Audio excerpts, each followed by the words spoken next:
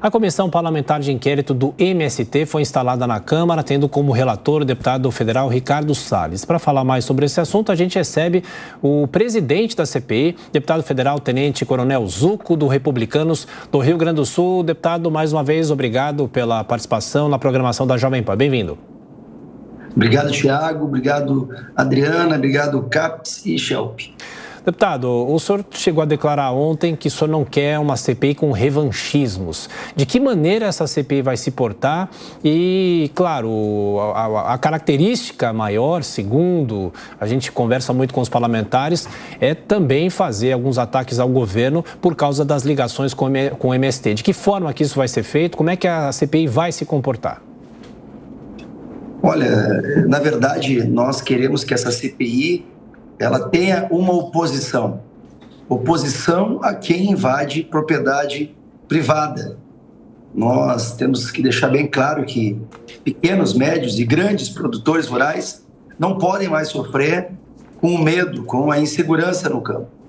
E agora, né, como tu bem disse, agora nós já instalamos, já temos é, hoje, inclusive, uma reunião para trabalhar é, a ideia inicial desta CPI, onde vamos fazer diligências nos estados que tiveram essas invasões, onde vamos entrar em contato com órgãos de segurança pública, Polícia Civil, Polícia Militar. É, e, e, nesse sentido, é importante salientar que a gente quer que se cumpra a lei, a gente quer respeitar a Constituição. E vamos, logicamente, também atrás daqueles financiadores desse movimento. Quem é que abastece esse movimento, que o torna forte a ponto de eles se autodenominarem autoridades para sair invadindo propriedades. Então, é uma CPI muito importante e a gente quer, com certeza, com que todos aqueles que se dizem responsáveis por tornar o Brasil o celeiro do mundo sejam poupados desse tipo de crime. Pergunta agora de Diogo Schelp. Deputado, bom dia. Na sua opinião, quais deveriam ser as primeiras. Quem deveria ser a primeira pessoa a ser convocada para depor nessa CPI? Ou quais deveriam ser as primeiras a, ser, a serem convocadas? Nós temos que uh, ir em loco, como eu falei, nas diligências, nos estados que tiveram essas invasões. E nesse sentido, quando a gente for visitar lá um local que foi invadido, a gente vai procurar as autoridades políticas locais, as autoridades que tenham, porventura, já uma linha de investigação é, correndo, para que a gente possa chegar a essas pessoas. Nós não vamos sair convidando ou até mesmo convocando pessoas que, porventura, têm uma identificação sem uma estratégia é, definida. Então, nós vamos partir com o que há de concreto, que foi a escalada das invasões. E a partir destas invasões efetivas e de tudo que houve ocorreu em torno dessas invasões, nós vamos procurar os atores que estavam relacionados. Como, por exemplo, empresas de transporte uh, de, de ônibus que muitas vezes foram colocadas à disposição de invasores. Então, quem é o responsável por essa empresa? Quem pagou a esta empresa esse deslocamento? Vamos também verificar quais as identificações de lideranças dos invasores que foram uh, feitas justamente com os órgãos de segurança pública. Então, é, é, difícil de citar um nome específico, porque nós já queremos, na semana que vem, com a apresentação do trabalho é, da relatoria e da presidência, já iniciarmos as diligências nos estados que sofreram, e, e não foram poucos. Fernando Capês. Bom dia, deputado. Normalmente. Bom dia, Fernando. Normalmente as CPIs acabam é, se repetindo muito nas perguntas, nas indagações, são aqueles questionários intermináveis, muitas entrevistas, e às vezes o resultado acaba não sendo muito concreto. O relator é um advogado experiente, o Ricardo Salles, ministro do Meio Ambiente, e, na verdade, vocês têm alguma estratégia de perseguir o caminho do dinheiro? Ou seja, quem está ganhando com essas invasões, quem está financiando essas invasões, e esse movimento ele é financiado à base de quê? Essa, essa investigação mais profunda, que, com quebra de sigilo telefônico, bancário. Há um planejamento para isso também?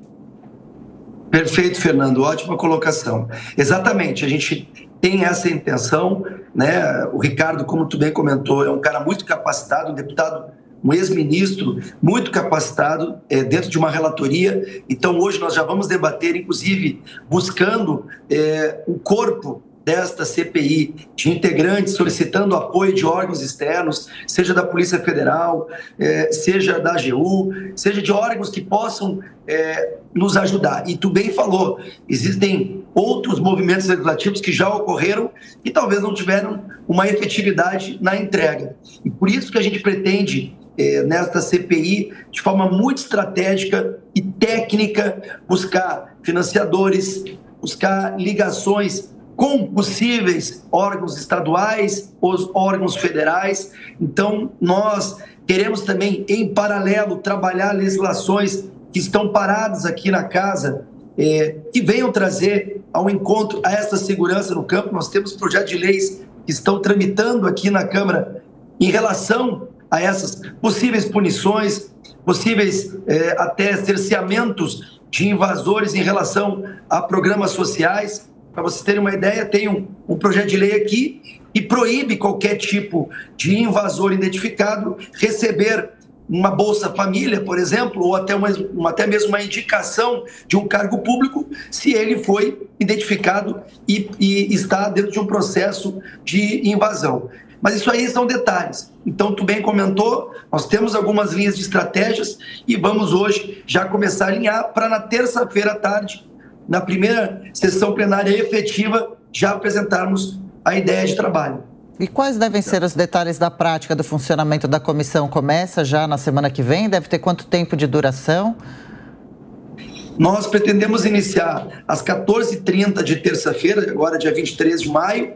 Nós não temos o tempo de duração, porque na verdade a, duração ela depende muito quando começa a hora do dia. Essa primeira sessão é uma, uma sessão mais detalhada para apresentação dos trabalhos, mas já recebemos algum feedback de deputados que querem entrar com alguns requerimentos, então nós já estamos preparados para isso. E, é como a gente já comenta, né? Temos a ideia de início de uma CPI, mas não sabemos como ela vai terminar. Bom, conversamos com o deputado federal Tenente Coronel Zuco, do Republicanos do Rio Grande do Sul, que vai presidir a CPI do MST. Deputado, muito obrigado mais uma vez e até a próxima.